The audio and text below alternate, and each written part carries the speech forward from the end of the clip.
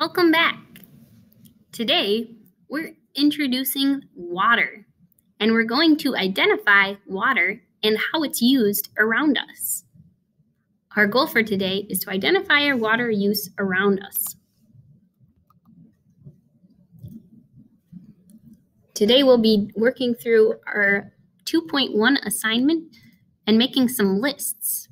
To clarify, when we're talking about water, we're talking about both the liquid the gas, and the solid. So we're not just talking about liquid water, but also about ice and steam. We talk about water using several different words. For example, words with the word aqua are usually talking about water because the Latin word for water is aqua. We'll look at our 2.2 our 2.1 assignment and try and think of all the words we know with aqua in them. Some examples we thought of in class were aquarium, where we keep fish, which live in the water, Aquarius, which is a zodiac sign, which has water in its symbol, and some people think the characteristics have to do with water. Aquatic, you might have heard of aquatic or water animals. Aquamarine the name of a movie about mermaids. It's also the color of the sea or a gemstone with a light blue water like color. Aquafina is a water you can buy.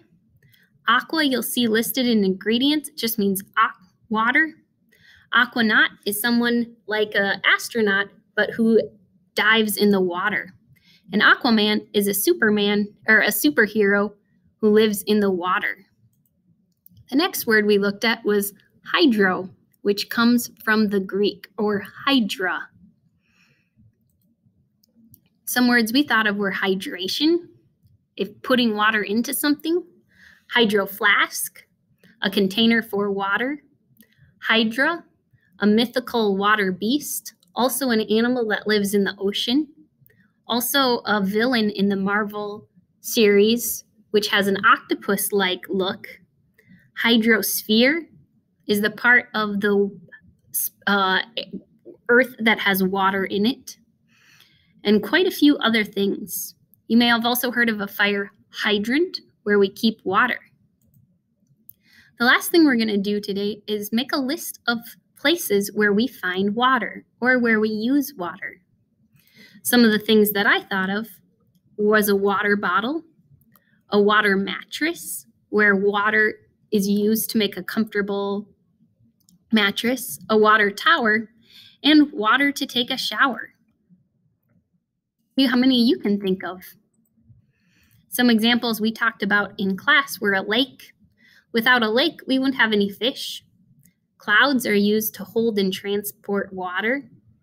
In the kitchen, you might find water to wash your vegetables. You might use water to wash your hands. We use water in toilets and plumbing to wash away waste and help us not to get sick. We use water in water parks to have fun, in washing machines to wash clothes, in our tears to keep our eyes from drying out, in our mouth to make things taste better. We use water to cook things.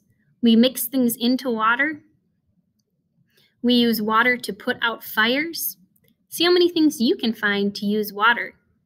Again, our goal for today was to identify water and recognize its uses in our lives. Have a great day.